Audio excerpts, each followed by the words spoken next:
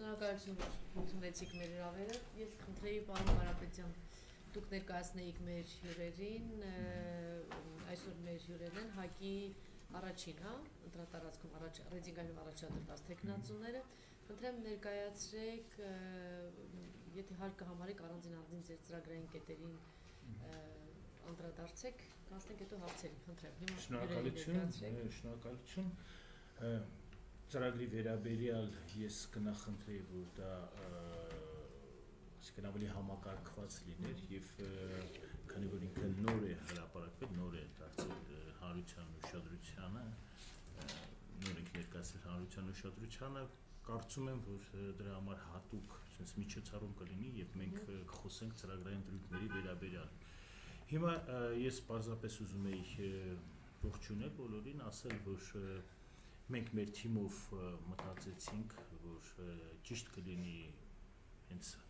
նախընտրական արշավի սկզբից ներկայանալ հարությանը, ներկայանալ նախ մեր առաջին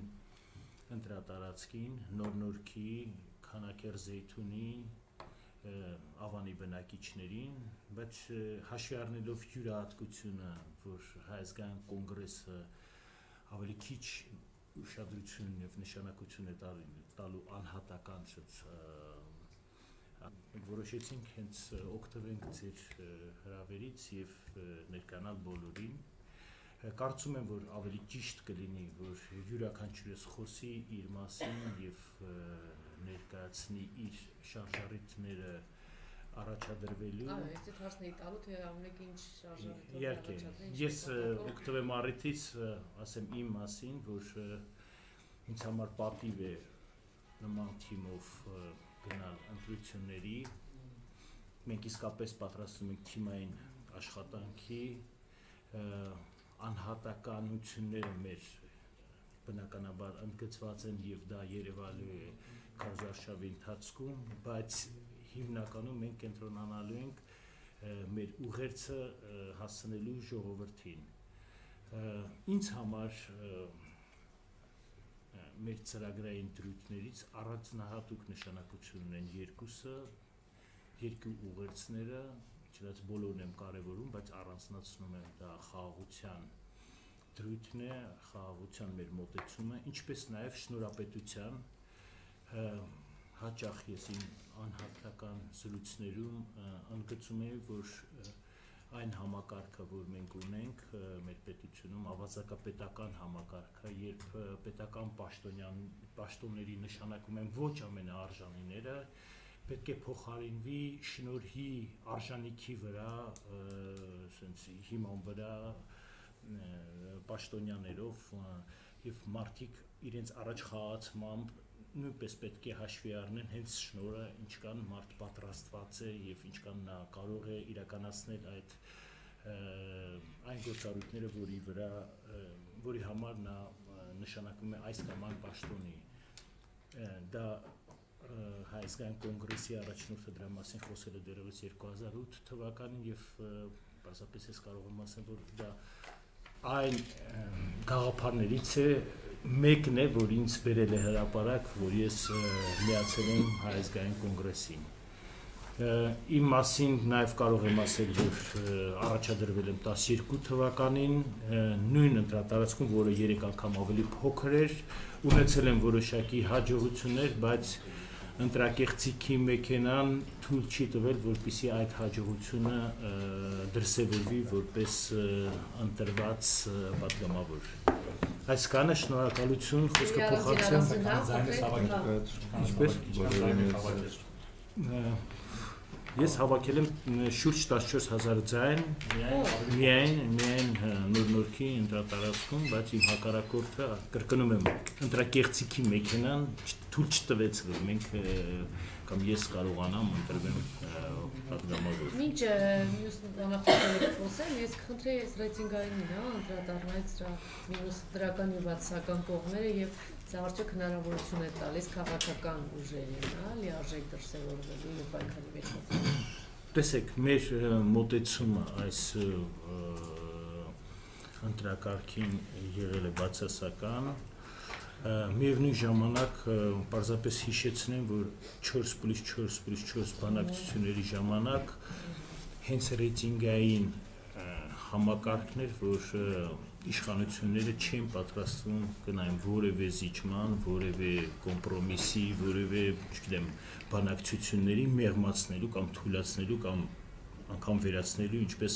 առաջարկում էր ոչ միայն հայազգային կոնգրեսը, այլ նաև հարության լայն շերտեր օրենքը ընդունվել է, մենք գործել ենք ընդունված օրենքի շրջանակներում եւ այս թիմը շատ ասած միասնական վստահ եմ հզոր թիմը աշխատելու այս օրենքի սահմաններում եւ մենք այդպես ենք ներկանալու նաեւ մեր ժողովրդին Յուրաքանչյուրը ինձ թվում է ավելի լավ կլինի, որ դուք դուք դուք խոսեք ձեր մասին, ինձ թվում է տենց ավելի լավ կլինի։ Արմեն ջան, խնդրեմ դուք ասել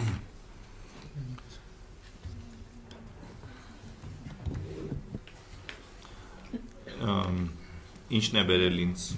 հայազգային կոնգրես եւ ինչն է ստիպել որ որպես տեխնացու հանդիսանում երբ որ մենք ինչ որ ասպարեզներում կայացած մարդիկ գլուխներս կակ զբաղվում ենք մեր գործով հետո տեսնում ենք որ մեր պետությունը տարել են փչացրել են եւ ժամանակն է որ բոլորս թափվենք, հասկանանք, որ առանց պետության ոչ մի բնակավարում չենք ունենա ոչ մի հաջողություն գլոբալ հաջողությունների մասին է խոսքը եւ անկախ նրանից թե նավի որ հատվածում ես գտնվում եթե նավը խորտակվում է բոլորը ունեն նույն ճակատագիր եւ որոշել եմ որ պետքա սկզբից պետության կայացման հարցերով զբաղվել, իսկ հետո վերադառնալ սիրած գործին։ Ես նպատակ չունեմ քաղաքականության մեջ երկար մնալու, ես ունեմ լավ գործ, մասնագիտություն։ Ես հրատարակիչ եմ։ Կարծում եմ դրանից ավելի լավ մասնագիտություն չկա աշխարհերս։ Ուր շտապ վերադառնամ իմ աշխատանքին կուզեի Այսինքն ընտրվեք, հետո չգնաք ազգային ժողով վերադառնալ, ընտրվել, այս ծրագիրը իրականացնել ու վերադառնալ։ Ես կարծում եմ, ըստեղ կարևոր դրույթները մի տարում կարելի է իրականացնել եւ արդից օգտվելով ուզում եմ ասել բոլոր այն մարդիկ, ովքեր որ քվեարկել են սահմանադրության հանրակրթություն ոչ, նրանց իր ձերի իրականացում կարող են գտնել այս ծրագրում, որը այստեղ հստակ գրված է 2018 թվականին վերականգնել նախագահական ընտրությունների ինստիտուտը։ Այսինքն բոլոր ոչ ասողները մեր կողմնակիցներն են, մեր կողմնակիցները ասել են ոչ։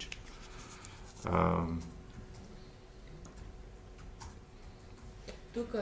փոքր տնտեսություն ունեք, ինչ որ իմաստով բիզնեսով եք զբաղվում։ Այսինքն ձեր գործունեությունը այս համակարգում խոչընդոտվում է կամ ինչ որ բաներ եք տեսնում, նաև դրա համար է, թե ընդհանուր գնով։ Այո, իհարկե, ես ուղիղ շահ ունեմ, քանի որ 98 թվականին եկած խունտան, որը դարձավ կրիմինալ կառավարման իշխանություն, նա պահում է մթի մեջ։ Ես զբաղվում եմ լույսընծայմամբ եւ սրանց մութը մեր տված լույսին խանգարում է։ Ես պիտի ամեն ինչ անեմ, որ լույսը շատանա, որպեսզի խավարասերները լքեն Հայաստանը։ Լավ, մենք ձեզ հետո հարցեր կողենք։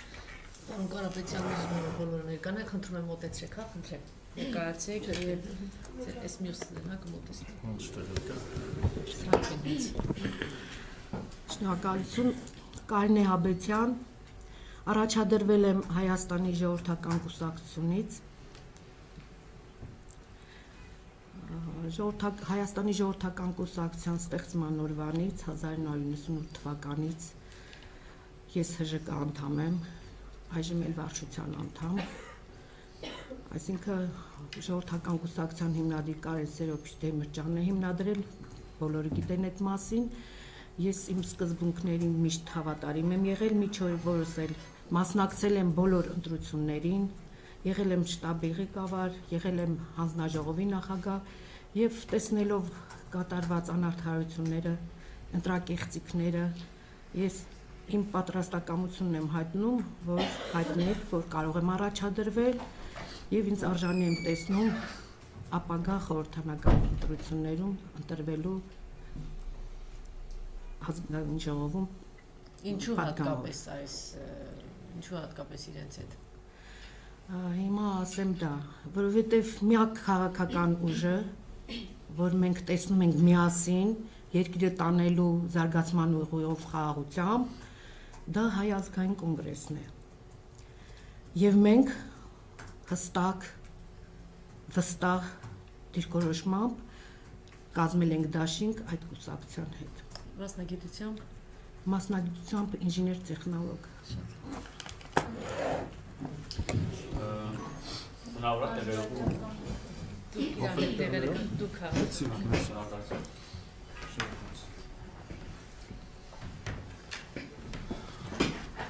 Բարև ձեզ։ Իմ անունը Սարգսյան Նարեկ, Հայազգային կոնգրես անկուսակցական։ Մի քանի օր առաջ մարտի 1-ն էր եւ Հայազգային կոնգրեսը եւ Հայաստանի ժողովրդական կուսակցությունը ավանդական երթի մեջ էին հանրավակ եւ երթ եւ ամեն ինչի մասին խոսվեց, այնտեղ ելույթ ունեցավ Արամ Մանուկյանը, Լևոն Զուրաբյանը, Գորգ Քլոյանի հայրը Սարգիս Քլոյանը, պարոն Դեմիրճյանը, ինչն էր ինձ որպես մարդ, որը երկրորդ անգամ էր ընդամենը մասնակցում այդ հանրահավաքին, ինչն էր ինձ համար ամենա կարևորը, ամենա իրականության մասին, մեր իրականության մասին ամենաբնորոշողը, որ այսօր մի ամիս հետո մենք ունենք խորհրդարանական ընտրություններ,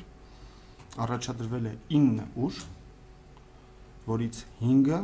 պատասխանատու են մարտի 1-ի համար։ 3-ը դուք 4-ը ասեք, որ մնացած արդեն ամեն բարձ լինի։ 5 ուժ Չէ, պատասխանատու։ մնացած 4-ը որ պատասխանատու չեն, ասեք, մենք արդեն պատասխանատուների տեղը կիմանանք։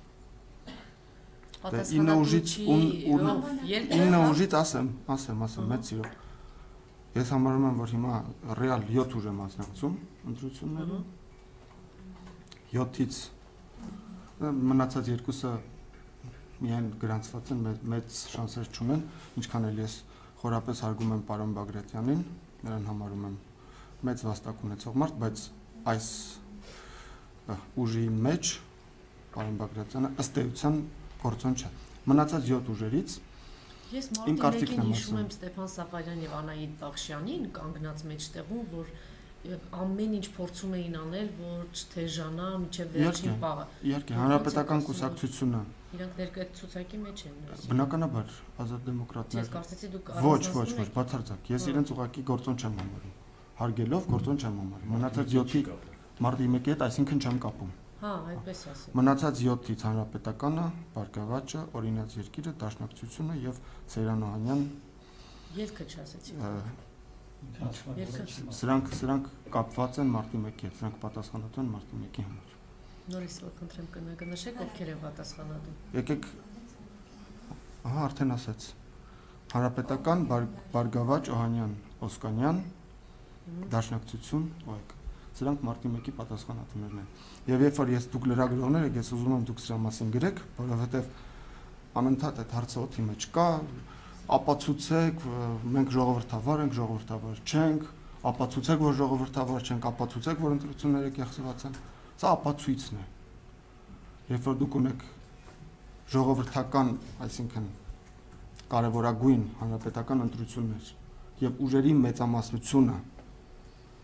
կրակել է ժողովրդի Կարծում վրա ձեր թեզը շատ խոցելի է, որտեղ նույն ՀԱԿ-ը համագործակցում էր եւ Դաշնակցության հետ եւ ԲՀԿ-ի հետ։ հակը երբեք չի համագործակցել Չեք համագործակցել ազգային ժողովում։ թույլ տվեք պատասխանել հակը երբեք չի համագործակցել ԲՀԿ-ի կամ որևէ ուժի հետ այն նպատակով որ իրար հետ իշխի երբեք նման բան չի եղել հակը համագործակցել է բարգավաճի եւ բոլոր ընդ որում բոլոր ուժերի հետ ուղղակի արձագանքել են այդ երկու ուժերը արձագանքել է ժառանգությունը դրա նպատակը եղել է ըստ էության մարտի 1-ի հետևանքների վերացումը Ում հետ։ Այսօր ասում եք մեղավորների հետ վերացնել մարտի 1-ը։ Իհարկե, ես շատ ուրախ եմ, որ դուք այդ հարցը ինձ տալիս եք, որովհետև դա կարևոր է, մարդիկ պետք է դա իմանան։ Տեսեք, Հայ ազգային կոնգրեսը պայքարել է արդարության համար։ Ճիշտ է։ Պայքարել է արդարության համար, մարտի 1-ի հետևանքների վերացման համար։ 2012 թվականին, մինչև ընտրությունները, Հայ ազգային կոնգրեսը փորձել է ուժեր ներգրավել, այդ թվում նաև մարտի 1-ի համար պատասխանատու ուժերից ուժեր ներգրավել արդարության հաստատման համար։ Դուք մեղավոր եք, բայց եկեք միասին արդարությունը հաստատենք։ Այսօր, այսօր, եթե հանրապետականից որևէ մեկը պատկերացնեք, այսպիսի մոտեցմամբ, եթե առաջնորդվելով համագործակցեի Ես այդպիսի մոտեցմամբ միայն դա միակ բան, միակ մոտեցումն է, որը ես համարում եմ ճիշտ։ Այո, այսօր եթե հանրապետականից որևէ մեկը համագործակցի մարտի 1-ի հանցագործությունների բացահայտման համար ես նրա ձեռքը չեմ կարող ճբռնել բայց դա չի նշանակում որ ես հանրապետականի հետ ոչ ոք ոչ ոք չի հայտարարում Սեյրան Օհանյանը չի հայտարարում Սեյրան Սեյրան Օհանյանը շանտաժի է դիմել հայ ժողովրդի նկատմամբ շանտաժի է դիմել Սեյրան Օհանյանը մամուլում բազմաթիվ հրապարակումներ կան Ես դա մի քանի օր երեք կարծեմ հրապարակել եմ։ Ունեք շանտաժ ասել։ Ես շանտաժի ես հարցերը ձեզ եմ տալի թե պարոն Կարապետյանի, որտեղ պարոն Ճիշտ է որ ինձ եք տալիս։ Հա։ Ավելի Սեյրան Օհանյանը շանտաժի է դիմել հայ ժողովրդի նկատմամբ, դրա տեսագրությունը կա։ Դրա տեսագրությունը կա։ Նա եղել է զինված ուժերի գլխավոր չեք թողել որ մեր թիմը ամբողջությամբ ներկա։ Ձեր թիմակցի հետ եմ կարծեմ խոսում, պարոն Կարապետյան։ Պարոն պարոն պարոն Օհանյանը եղել է զինված ուժերի գլխավոր շտաբի պետը եւ շանտաժի է դիմել դավաճանելով իր զինվորական երթմանը։ Եթե այդպիսի մարդը առաջադրվում է որպեսի դառնա իշխանություն, այդ առաջադրման փաստը բռնապետության ապացույց է։ Լավ, պարոն Կարապետյան, ոչ ներվի ձեզ հարցեր չտանք թող։ Չի, ոչ, ոչ տակ, հենց եկել են որ հարցեր տակ։ Հենց դրա համար ենք եկել։ Այո, ես ես Հովանեսյան Նայինն եմ։ Եղել եմ նախկինում կուսակցական չեմ եղել։ Հայազգային կոնգրեսի սկզբնավորման պահից եղել եմ սկզբում համաժողովրդական շարժման ներկայացուցիչ, Հայազգային կոնգրես դաշինքի ներկայացուցիչ, այժմ էլ Հայազգային կոնգրես կուսակցության անդամ եմ որոշել եմ առաջադրվել, տեսնելով թե ինչպիսի վիճակում է գտնվում մեր երկիրը։ Չեմ ուզում, որ իմ երեխաները լքեն ուզում եմ իրենց ապագան այստեղ լինի, իրենց հողի վրա։ Նպատակս դա է, ես իսկ տեսնում եմ խորհրդարանում, տեսնելով թե ինչ է կատարվում մեր երկրում, ինձ թվում է, որ ես կկարողանամ ինչ որ մի կերպ, ինչ որ մի բանով օգնել իմ երկրին, իմ ժողովրդին։ Նպատակս ինչպես նշեցին իմ թիմակիցները, մեր կուսակցության դաշինքի հիմնական ուղերձը, խաղաղության ուղերձը ժողովրդին հասցնելն է եւ ինձ թվում է, որ ես ինքս անձամ կկարողանամ այնպես մեկնաբանել, որ ժողովուրդը հասկանա, որովհետեւ ինձ թվում է ոչ մի ծնող չի ցանկանում, որ ոչ մի մայր չի ցանկանում, որ սահմանում մենք զոհեր ունենանք վերջի վերջո բացվի մեր երկրի սահմանները, ինչպես կյանքը ցույց տվեց, փակ սահմանները անհրաժեշտ են մի խումբ մարդկանց նրանց բարգավաճման համար նպատակս միայն դա է, որպեսզի երեխաները մնան այս երկրում։ Դրա համար որոշել եմ առաջադրվել։ Իսկ հենց վերջի դիտարկումից փակ սահմաններ այսօրվա իշխանությունը Սերժ իշխանության հասնելով հենց առաջին քայլը դա էր ցախողվեց։ Ինչ կերպ եք դուք փոխել ինչ ճանապարհով որ դա չձախողվի։ Խոսքը Հայաստան-Թուրքիա սահմանի ձախողվեց։ Այսինքն ձախողվեց դա Հայաստան-Թուրքիա սահմանի բացումը։ Հավաճու արեց սխալ ճանապարհից։ Չէ, չէ, դա ես խոսում եմ արժանապատիվ խաղաղության մասին, երբ որ մենք միջազգային փաստաթղթերով կամերագրենք Ղարաբաղի Արցախի անկախություն ինքնորոշման իրավունքը։ Այդ դեպքում կբացվեն բոլոր կոմունիկացիաները։ Այո, ոչ թե։ Ձեր մոտ առաջին դրույթում գրված է, որ բոլոր հարևանների հետ խաղաղ Այո, բարիդրացիական։ Բարիդրացիական հարաբերությունները արդյոք միակողմանի է լինում։ Մեր հարևան ները պատրաստ են մեզ։ Իսկ դուք չգիտեք այդ պատասխանը, հա? Բնականաբար երկողմ է։ Բնականաբար։ Դեպքում ո՞նց եք պատկերացնում իրենց այդ եթե իրենք ամեն օր կրակում են, եկա Ադրբեջան։ Ինչ մենք չենք կրակում։ Նախահարցակ ինքնին։ Ես խորին համոզվածությունն է, որ թե հայ ժողովուրդը, թե հարևան երկրները Ադրբեջանի մասնավորապես ժողովուրդը ցկտում են խաղաղության Ավելին ես ես ուզում եմ հիշեցնել, որ 97 թվականին Հայր Ալիևը նախաստորագրել է փաստորեն այն փաստաթուղթը, որ դրված էր սեղանի վրա, դրանով հայտնելով նաև ժողովրդի ցանկությունը երկարատև խաղաղություն հաստատել։ Ավելացնեմ նաև, որ 2007 թվականից այն փաստաթուղթը, որ դրված է սեղանի վրա Մադրիդյանը երկու կողմերի չտած կարելի ասել կողմից էլ ընդունվել է որպես հիմք իսկ միջնորդները ամենաբարձր մակարդակով արտգործնախարարների նաև նախագաների մակարդակով բազմիցս հարայնացրել են այն դրույթները, որ կան այդ փաստաթղթում մասնավորապես ինքնորոշման ճանաչումը եւ որևէ դեպք չի եղել, որ պաշտոնապես Բաքուն արձագանքի, մերժի, հերքի չհամաձայնվի այդ դրույթների հետ։ Այսօր էլ բանակցությունները շարունակվում են հենց այդ փաստաթղթի շուրջ եւ կարծում եմ, որ համապատասխան կամքի 1 երկրորդը միջազգային հարության համապատասխան ուշադրության ավելացման դեպքում հնարավոր է գալ համաձայնության եւ այն հռետորաբանությունը, այն նաեւ վարքը, որ մենք հաճախ տեսնում ենք, չի կարելի հաշվի չառնել, միևնույն ժամանակ դա չի հիմքում բանակցությունների, այլ բանակցությունների հիմքում այն է, որ կողմերը արդեն իսկ համաձայնվել են հարայնացված դրույթներին, որոնց բոլորս մենք ծանոթ ենք։ Պարոն Լրացում կարելի է հասկանալ, որ այս գործող իշխանությունները չեն ուզում դրա համար չեն հասնում։ Չէ, ասում եմ որ բանակցությունները դրա շուրջ են, այս իշխանությունները ուզում են։ Պարզապես կարող եմ մի փոքր sense բացել, ասելով որ հենց հենց ստեղ ես ես ստեղ ուզում եմ մի մի նրբության վրա կանգ առնել, տեսեք, եթե մենք վերցնենք քարոշչական բովանդակային sense բովանդակություն ունեցող հայտարարությունները օրինակ Սերժ Սարգսյանի հայտարարությունները արված գլխավոր սպայակույտի վերջի հանդիպման ժամանակ դրանք մի հնչեղություն նշանակություն են մեկ այլ ավելի գործնական հանդիպման ժամանակ արվածները լրիվ այլ Այսպես օրինակ, երբ Սերժ Սարգսյանը ՆԱՏՕ-ի գլխավոր քարտուղարի հետ էր հանդիպում եւ արեց հայտարարություն, նա հայցեց միջազգային հանրության աջակցությունը այն խաղարար ջանքերին, որ միջնորդները կայացնում են։ Եթե չկան բանակցություններ, ինչպես որոշ հակականներ պնդում են կամ որոշ քաղաքագետներ, եթե չկա շփում եւ հանդիպումներ, ապա ինչ ինչի մասին էր խոսում Սերժ Սարգսյանը։ Ուզում եմ ասեմ, պետք է մենք կարողանանք զատենք քարոշչական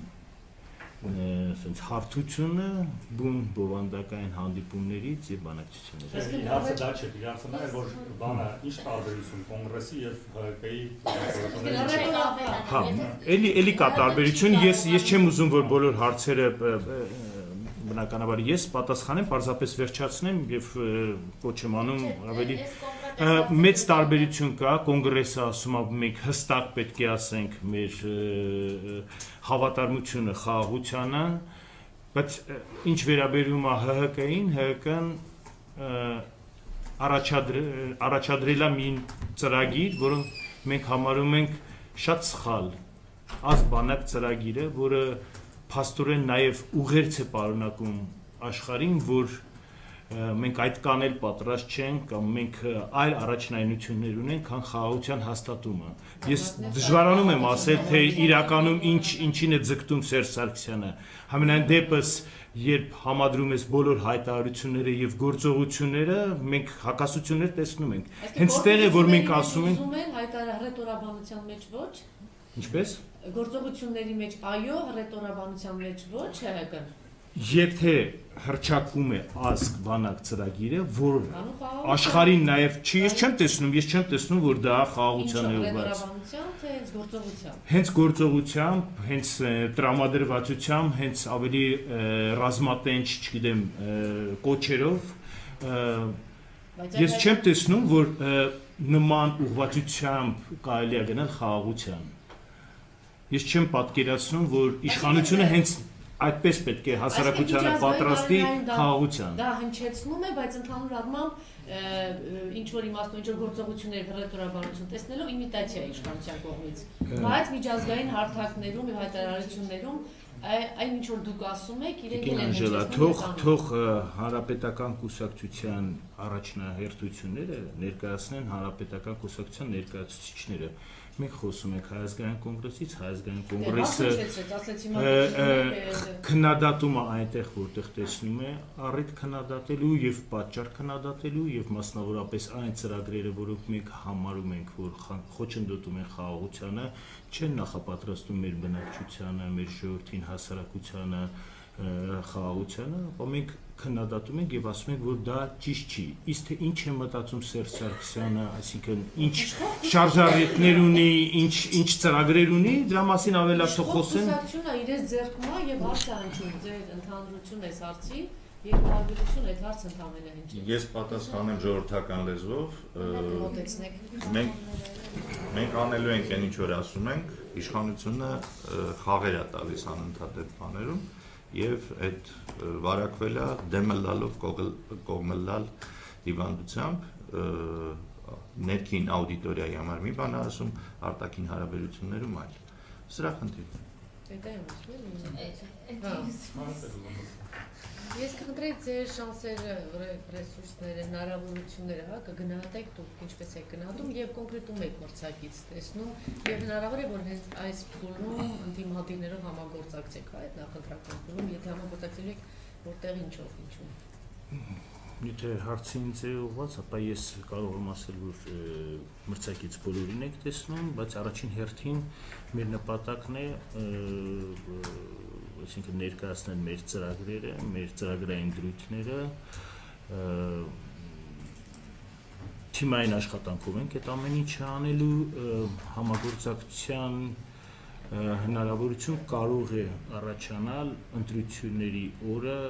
վերահսկելու ընտրությունների արդար ընթացքը։ Խնդրեմ։ ես արդեն ասացի, որ բոլոր այն մարդիկ, ովքեր որ համանadrությանը ոչ են այս խեղաթուրված համանadrությանը ոչ են ասել,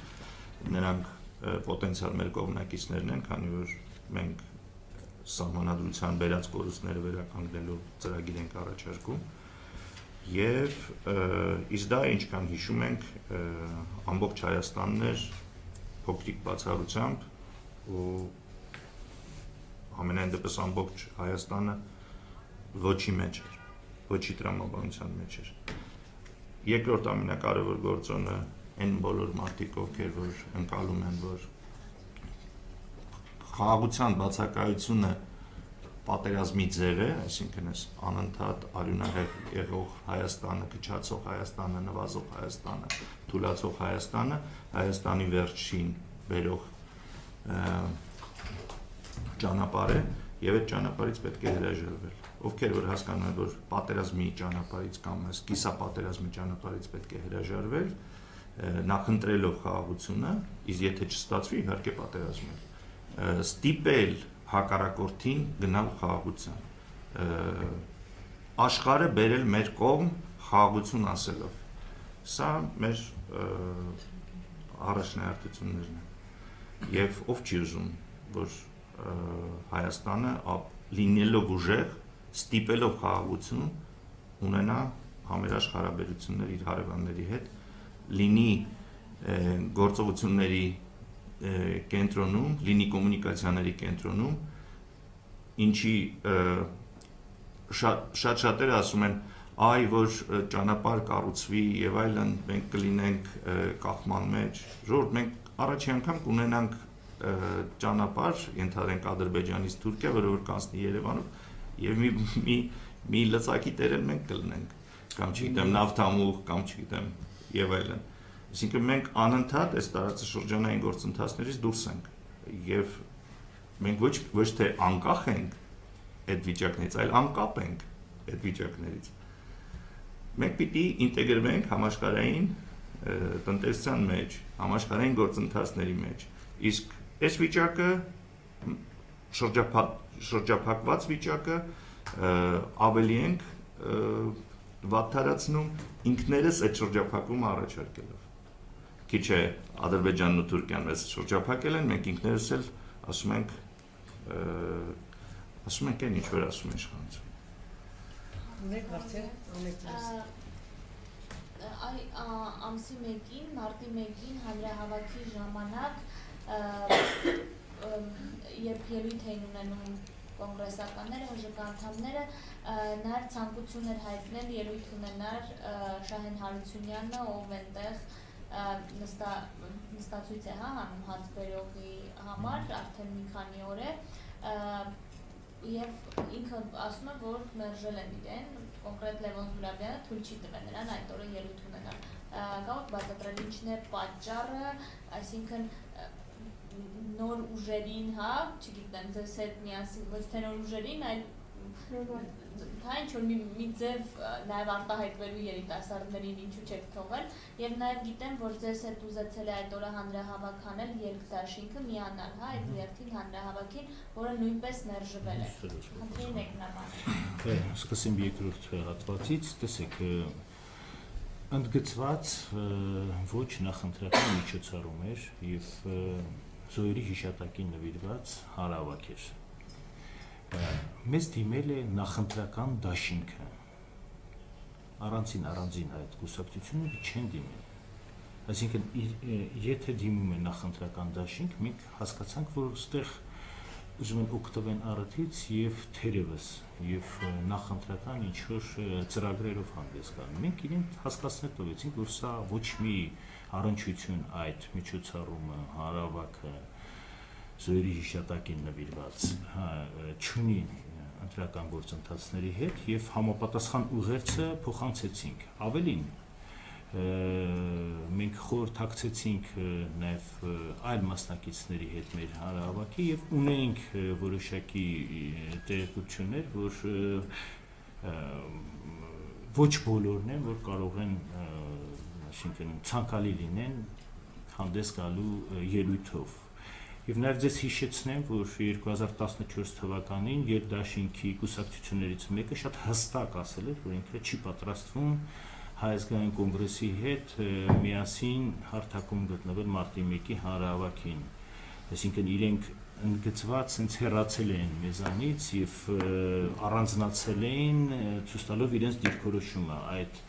կապակցությամբ ինձ հետաքրքիր կլիներ իմանալ թե ինչ էր եղել, որ կար փոփոխություն եւ փոփոխությունը տենց ինչ որ նախընտրական sense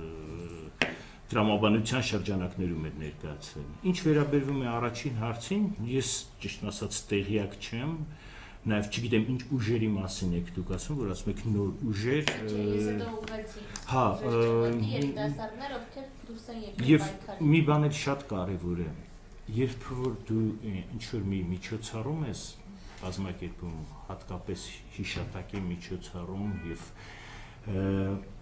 տրամաբանությունն է ելույթի, այսինքն բոլորի շատ հստակ է կարող է մեկ այլ միջոցառումից այլ խնդրով եկած հավաքվածներին այնպիսի ուղեր ցղի, որը հարի չլինի, հարմար չլինի, չգիտեմ, այդ միջոցառման տրամաբանությանը միգուցե դա է եղել շարժարիթը Լևոն Զուրաբյան նման կարծիքի բայց ես հացվերովի համար ստորագրավակին կոնգրեսը մասնակցել է ստորագրահավաքին եւ մենք ունենք շատ հստակ դիրքորոշում հացվերովի վերաբերյալ Մյուս կողմից մենք ունենք առաջարկներ, որ մարտի 1-ը մարտի 1-ի հիշատակի այդ միտինգը օգտագործել որպես նախընտրական պայքարի միջոց եւ միամուր կոնգրեսականները հրաժարվեցին այդ մտքից, որովհետև դա հիշատակի էր։ Իսկ եթե դու քո թիմակիցներին ես հիմա դրանց հիշատակի էստեղ Չէ, այդ կապ ունի հարավարը նախնականների հետ։ Մենք կարանք ներևություն, ներևություն, մենք այստեղ հետևանքի եւ պատճառի խնդիրներ կա։ Մենք կարող ենք նախընտրական ծրագիրը օգտագործել հանուն մարտի 1-ի։ Մարտի 1-ը հանուն ծրագրի չենք օգտագործել։ Շատ Պատճառի եւ հետևանքի շփում։ Որ մարտի 1-ը անիմաստ շահարկվում է հենց հատկապես ընտրություններից առաջ։ Դուք ինչ կարծիք։ Դե մենք ցույց ապացուցել ենք, որ իսկ մյուսները չէ, մյուսների համար ինչ կասեք։ Մյուսների համար չեն կարող պատասխան։ Իսկ ո՞վ պիտի շահարկել Դե չէ, գալիս են Շանթի տղան, շանթը հայրը միջև վերջ այնտեղ կանգնած է եղել ամենավաններից մեկը։ Կուսակցությունները Ելքի քարյակի 3 հոգին այդ ամեն ինչի տարել դրել։ Ասում են, եթե մենք գանք իշխանության, մարտի 1-ը կբացահայտվի դա, ինձ թվում է շահարկում է։ Դուք ինչ Հարցը ձեզ ուղղված պատասխանեք։ Ձեզ ուղղված հարցը երևի, հա? Հա? Չէ, հարցը։ Ես մի հատ հարց կարող եմ տալ, որ դուք բան եք պատահական է ընտրված, որ կոնգրեսի այդ համար մեկ բանում ինտելիգենցիայի ներկայացուցիչներ են հիմնականում մասնակցում, որովհետև երաժիշտ, տպագրիչ, հրատարակիչ, էլի տեխնոլոգ, բոլորը այսինքն պատահական, այսինքն թե հատուկ անտրված, որ այդ բանվանը, որովհետև տեսակ գիտություն, կրթություն, տեխնոլոգիա, մշակույթ ունի։ Այսպես ինչա հատուկ է կարող ներկայանաք տարբերվեք մնացած թիմերից, թե Նարեկ միգուցե դու սկսես։ Ասեք դու դու ասեմ Չգիտեմ, հատուկ հաստատ չի արվել։ Կոնգրեսի մի քանի օր առաջ Իլուրում մի հոդված ես կարդացի կոնգրեսի ցուցակի որակական հատկանիշները։ Այնտեղ լուրջ թիմ հավաքված այնպես որ հատուկ չի արվեց մնացած խմբերում մնացած ընտրատարածքներում նույնպես շատ փորձառու եւ տարբեր բնակավարներ ներկայացնող մարդիկ կան բայց երաժիշտը ինչ գործ ունի քաղաքականության մուզիկան նո պոլիտիկա Ես այդ ֆիլմը չեմ տեսել դրա համար։ Բացի դրանից դուք նաև Հայաստանում չեք ապրել։ Այսինքն հետո եք վերադարձել Գերմանիայից վերադարձել եք։ Ես ես Հայաստանում եմ ապրել։ Ես ես Հայաստանում եմ ապրել, ուղղակի ժամանակավորապես, ուղղակի ժամանակավորապես Հայաստանից բացակայել եմ ընդհանրապես։ Սովորել սովորելու նպատակով։ Ինչը՞։ Սովորելու աշխատանք։ Դու պարոն Կարապետյանը ստեղ ինչ որ բաներ անում, հեգնում։ Ես եթե եթե թույլ տակ կարողանել հարցեր տալ մասնակից, չգիտեմ։ Եթե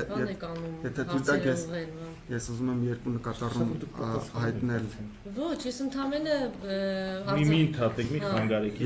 Ես եմ բարում, պարոն Կարապետյան։ Դուք միշտ ինչ որ դասեր եք տալիս։ Դուք ընդհատում եք եւ Դուք եք դասեր եք տալիս։ Այստեղ ես եմ բարում, չենք ընդհատում ընդհատեք, ընդհատեք պատասխանել։ Ուրեմն երկու հարց հնչեց։ Առաջինը վերաբերող խաղաղության պլատֆորմին, որը ներկայացրել է առաջին նախագահը, բավոր հանկարծ Ադրբեջանը չհամաձայնվի։ Ուրեմն եթե Ադրբեջանը չհամաձայնվի եւ սկսի պատերազմ, Հայաստանը բնականաբար կմտնի պատերազմի մեջ։ Ամենահեշտ հարցն է։ Նույնը տեղի է ունեցել 91 թվականին, 92 թվականին, 93 թվականին, 94 թվականին։ Ամեն անգամ Ադրբեջանը համաձայնվել է արտակուստ խաղաղության, հետո ռազմական գործողությունները սկսել, կորցրել է եւս 1-2 շրջան, նորից համաձայնվել է խաղաղության։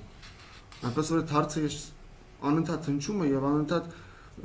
իմ ընկերները նույնիսկ այդ հարցին լուրջ են վերաբերվում, բավոր հանկարծ Ադրբեջանը չհամաձայնվի։ Դե եթե չհամաձայնվի, խաղաղությունը լինում է երկկողմանի, միակողմանի խաղաղություն չի լինում։ Սա առաջինը։ Երկրորդը, ինչքան ես հետևում եմ Հայաստանի քաղաքական մտքին, այդ մի հատ բան եմ նկատել, որ ընդհանրապես անհասկանալի է։ Երբեմն մենք ցանկու կարիք ենք ունենում մարդկանց բացատրելու բարձ բաներ։ Օրինակ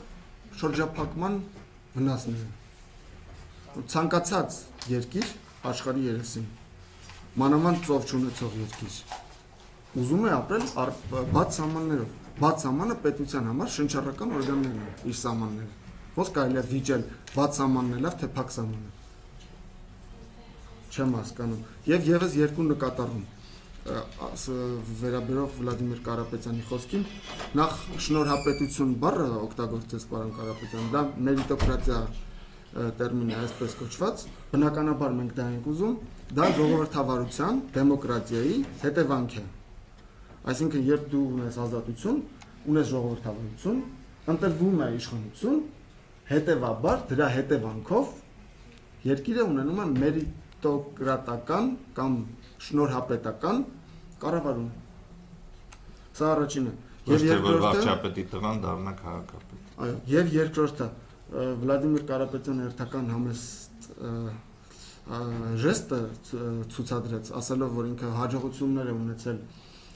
նոր-նորքի 9 զանգվածներում նախորդ ընտրությունների ժամանակ։ Վլադիմիր Կարապետյանը ընտրվել է ազգային ժողովի падգամավոր հավաքելով 14000 ձայն։ Սա թող բոլորը իմանան, ոչ մի ուրիշ падգամավոր չի ընտրվել։ Ընտրությունները կեղծվել են եւ Սամվել Ֆարմանյանը կեղծված ընտրություններով անցել է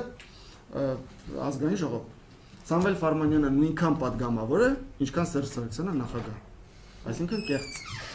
Վլադիմիր Կարապետյանը падգամավոր է, ուղղակի կեղծված ընտրությունների արդյունքում չի գործունի երաժիշտը երաժիշտը պոլիտիկայի մեջ, այս այն դեպքն է, երբ որ երաժիշտը իր մասնագիտությունում հասնում է ամենաբարձր կետին, ու հետո տեսնում է խնդիրները չեն լուծված պետության կառուցման հարցում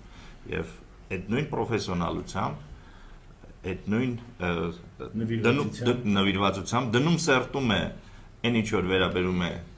քաղաքականության ու քաղաքագիտությանը եւ մտնում է ասպարեզ։ Մենք 5 րոպե ունենք, ինչ ունեք ավելացնելու կամ գուցե կոչ ունեք Թերևս թերևս թերևս երկու երկու բան ես կարճ ասեմ, ինչ վերաբերում է այդ տարբերությանը մեր քաղաքականության, մեր մոտեցումների եւ Սերժ Սարգսյանի բազմիցս իշխանությունները հայտնել են, որ եթե Ադրբեջանը զգա, որ ինքը ուժերը նա կհարցակվի, Փաստորեն քաղաքականությունը այնպես է տարվել վերջի 19 տարվա, որ Ադրբեջանը զգաց, որ ուժեր է եւ հարցակվեց մենք էլ 20 տարի չենք կարողացել այնպես պաշտպանվենք, այնպիսի պաշտպանական գիծ ունենանք, որ տվեցինք այդքան զոհեր եւ զիջեցինք տարածքները կոնգրեսի եւ իշխանության վարկագծի տարբերությունը ակնհայտ է այդ անդրադառնալու վերջի հարցին իսկ ինչ վերաբերում է ընտրություններին ես կոչ եմ անում որ առաջին ընտրատարածքի բնակիչները ընտրողները ուշադրությամբ հետևեն, այսինքն այս քարոզարշավին, մոտեցումներին, տեսնեն թե ինչ ինչպիսի հրաշալի թիմով ենք մենք հանդես գալիս, բազմաթիվ բաց թողումներ կա այս ընտրական օրենսգրքում եւ մենք բարձրացանել ենք դրա մասին։ Միևնույն ժամանակ այս ընտրական օրենսգիրքը հնարավորություն է տալիս ոչ միայն առաջին ընտրատարածքում հայազգային կոնգրեսի նման թիմով հանդես գալ եւ և ներկայանալ ժողովրդին, այլ նաև այլ ընտրատարածքներում եւ այդ առումով ես այս առաջիկա ամիսը փայլուն հնարավորություն եմ համարում մեր գաղափարները, մեր մոտեցումները շնորհապետության վերաբերյալ մեր ընկալումները հասցնել բնակչությանը ընտրողներին։ Եթե կոչում է պարոն Մարտիրոսյան, ընտրողներին ընտրեն։ Ընտրեք ձեր կրճով։ Շնորհակալություն, հաջողություն ձեզ ընտրություններին։